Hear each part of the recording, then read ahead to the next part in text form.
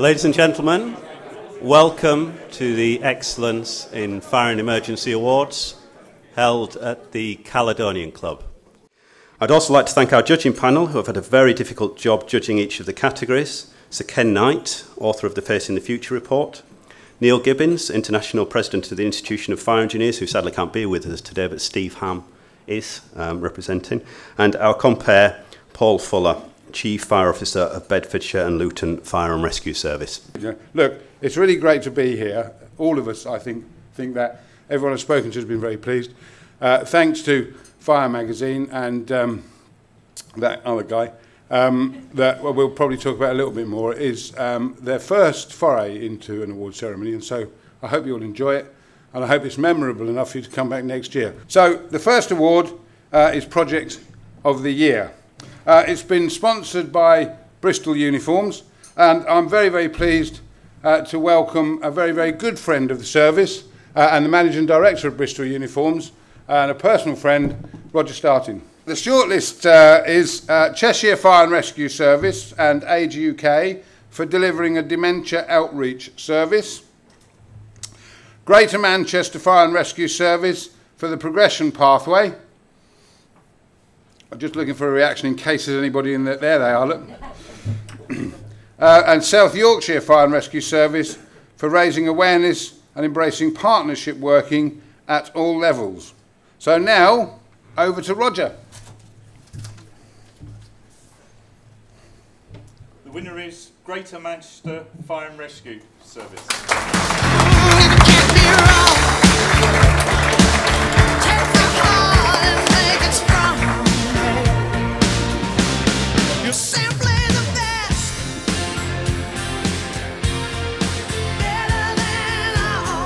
Okay, so the next award is Team of the Year.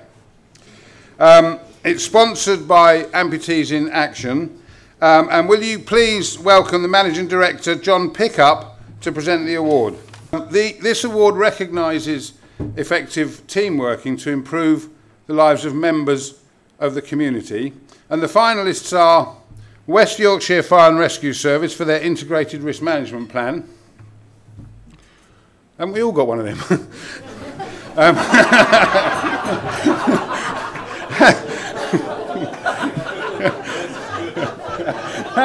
Hampshire, Hampshire Fire and Rescue Services Animal Rescue Team, who have been who've been leading in animal rescue for the last decade. Um, there's got to be a line there, anyway. and West Midlands Fire and Rescue, who were the first dedicated fire investigation team in the UK and who also celebrate their 31st birthday, and I can remember it being set up. so fantastic. Okay, so over to John now to announce the winner. The winner is West Midlands Fire and With my time after time, I've sentence, but committed no crime, and bad mistakes. I've made a few. Okay, so the next award Innovation of the Year. So our next category is the Innovation of the Year Award, sponsored by Holmatro. So please welcome uh, to the stage Area Sales Manager Colin Noble to present the award. This award recognises the innovative uh, technology uh, or a way of working that has made a significant difference to the fire um, and emergency to fire and emergency performance and delivery. Um, and the finalists are Lincolnshire Fire and Rescue Service for installing portable misting systems into the homes of residents who are most at risk from fire. Innohome for the stove guard system which uh, can monitor cooking activities, uh, so, so safer cooking activities on the hob uh, the word in here could be construed in a number of different ways. so it's actually about safer cooking, um, uh, you know, on the oven hob. And last but not least, and uh, obviously clear winner, is the STEP collaboration made up of Cambridgeshire Fire and Rescue Service and Bedfordshire Fire and Rescue Service and Devon, Devon and Somerset Fire and Rescue Services who have introduced efficient business processes. And can I also say thank you to Her Majesty's Government for the 1.4 million pounds transformation funding that they've given us for this this afternoon. Colin, go on. And the winner is Innohome. through the wind, wanting to start again. Do you ever feel feel so paper thin, like a house of cards, one blow from caving in?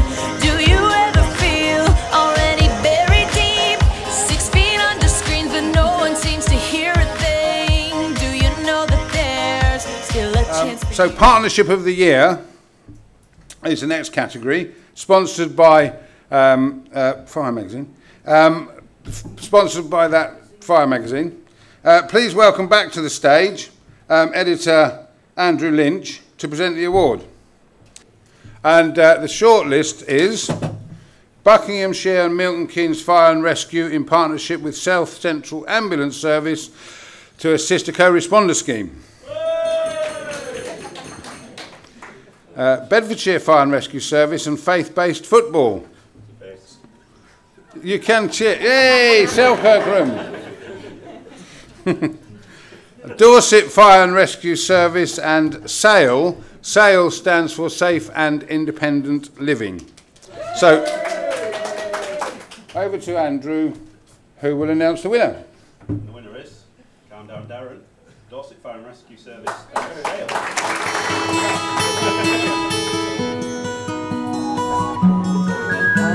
am sailing. I am sailing. Um, so, the Research Excellence Award um, takes us a little bit away from the format that you've seen so far. Um, it's already been presented at the research um, event uh, which is run at the Fire Service College in partnership with the Institution of Fire Engineers. And the uh, winning entry this year concerned collaboration and in connectivity. In, in connectivity? Is that right? Is that right, President? Okay. In Nottinghamshire, um, a joint management research project featuring Nottinghamshire Fire and Rescue Service, Nottingham Trent University and the University of Nottingham. So please welcome the winners, Peter Murphy, Kirsten Greenhow, and Craig Parkin.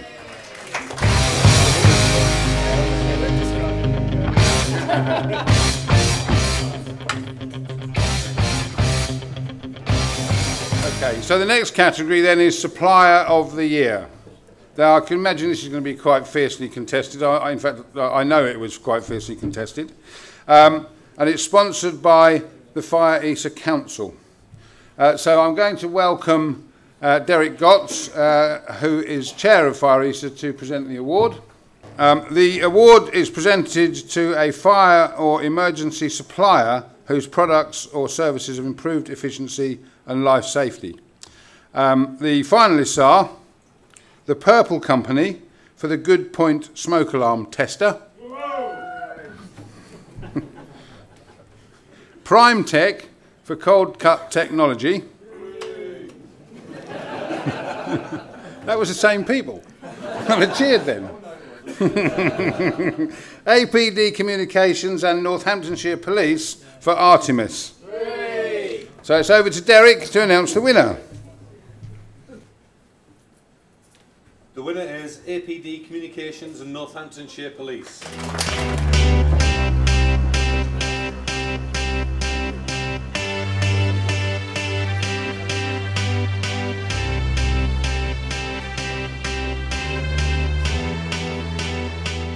Um, the penultimate category is for Training Provider of the Year, sponsored by Prime Tech. So please welcome to the stage Senior Design Engineer Simon Land uh, to announce the winner. Um, so the finalists are um, of this award, which is um, it's really about demonstrating uh, transference of learning, exceptional feedback, and organisational improvements directly linked uh, to um, uh, to individual and personal training. So the finalists are Derbyshire Fire and Rescue Service and Safety Engineering Simulators to help deal with car accidents. I'm pretty sure we saw that at the emergency services show. Actually, it was quite impressive, wasn't it? Uh, Babcock International, we've already mentioned for the um, highly commended honours, and the University of Central Lancashire Fire Team for educating fire professionals for the safety, design, fire risk management, uh, and emergency response.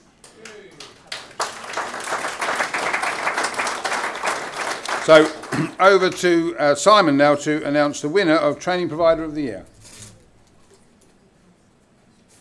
And the winner is the UCLan Fire Team.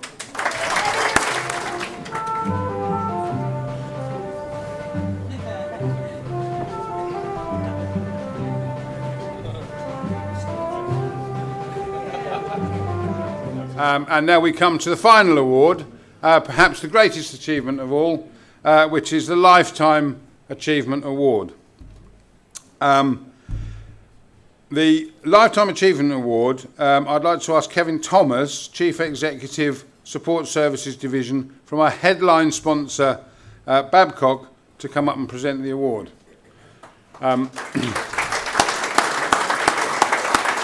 Uh, from a lifetime's experience dedicated to the UK Fire and Rescue Service and improving fire safety provision, um, Ronnie King is a living legend and worthy and a worthy recipient of this inaugural Excellence in Fire and Emergency Lifetime Achievement Award. Ronnie King, OBE.